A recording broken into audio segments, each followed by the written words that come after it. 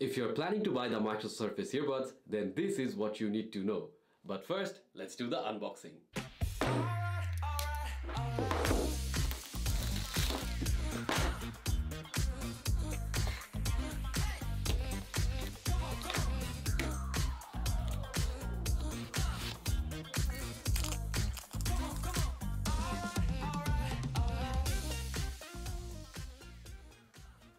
First thing that you need to know is there is this unique integration between Office 365 apps and the Microsoft Surface earbuds. With this feature on, you can either dictate something in Microsoft Outlook or Word or advance slides in a PowerPoint presentation and get live subtitles. While this is a very cool feature to have, but currently it is only limited for use with US Office 365 accounts.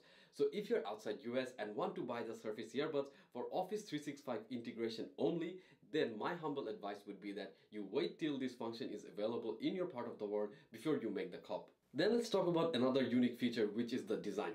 The earbuds have a big touch surface which to me literally looks like a big coin stuck in your ear.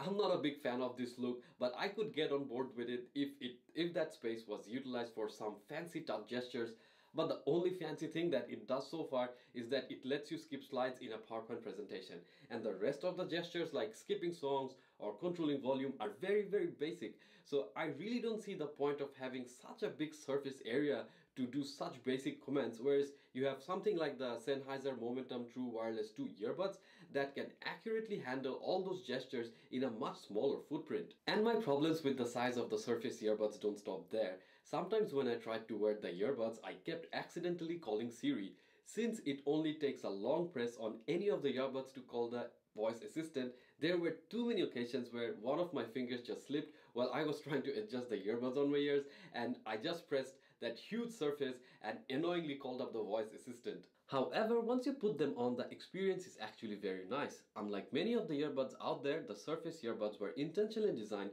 not to go inside your ear canals and block off surrounding sound and give you some sort of a passive noise cancellation. It is meant to let surrounding sound in I can see a good use case for this design choice. Say for example you're at work and you want to listen to something but still want to be aware of your surroundings, then this will really help. So the earbuds use four anchor points which are positioned on the outside rim of your ear canal's entry to stay on the ears. And surprisingly, it is a very secure and comfortable fit. No matter how much I tried to get this off of my ears, it just stayed on. And I must say that this fit is my favorite among all the other earbuds that I have tried on so far because it is so damn comfortable. So it's super important that if you get this earphone, you make sure that you use the right ear tip to get that optimum fit. Plus it has IPX4 water resistance rating, so you will have that peace of mind even if your workout sessions get a little bit sweaty. But that really does not explain why Microsoft decided against giving the Surface earbuds noise cancellation though. Because I think music sounds way better when you have noise cancelling on. And if you're a regular commuter, then having noise cancellation is super useful because then you can just zone out on your music or movies and don't have to care about any annoying humming sounds coming from your airplane engine or the bus. So anyone who's serious about listening to music might want to reconsider buying this considering that it doesn't have any sort of noise cancellation, active or passive. But that being said, the Surface Audio app lets you change the equalizer settings, which makes listening to music enjoyable. It does get very loud, which I like, but if you crank up the bass or the treble levels a little bit too high on this, then the sound will crack a bit. So some tweaking is required if you want your custom sound to sound perfect. Also, the layers between different instruments while listening to complicated music genres like classical music are not that well separated like you would get on the Sennheiser Momentum 2 or even in the Apple uh, AirPods Pro, but still it sounds pretty good. So kudos to Microsoft for doing a very good job in tuning that tiny 13.6mm driver inside these earbuds. It also supports aptX codec, so it can handle the pressure of gaming where low latency feedback is paramount for winning or losing an epic battle.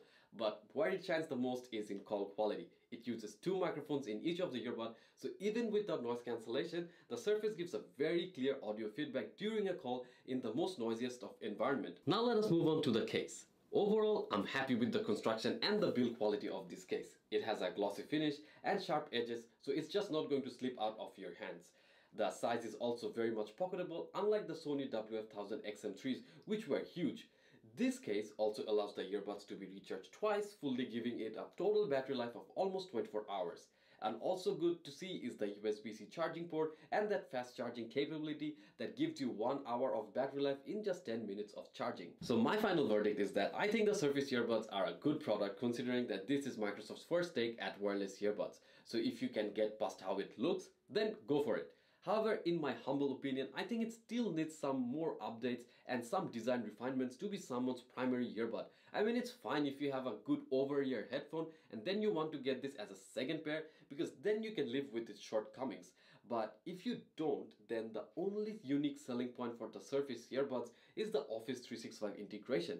Take that away and you're left with an earbud that costs more than 300 Aussie dollars which does not even have noise cancellation and has standard specs and features.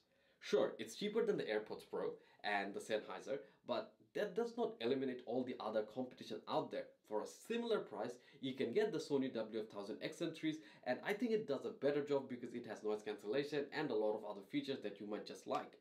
Anyways, that's just me. I would love to hear what your thoughts are on this matter, so feel free to drop a line in the comment section down below and I'll see you again next week.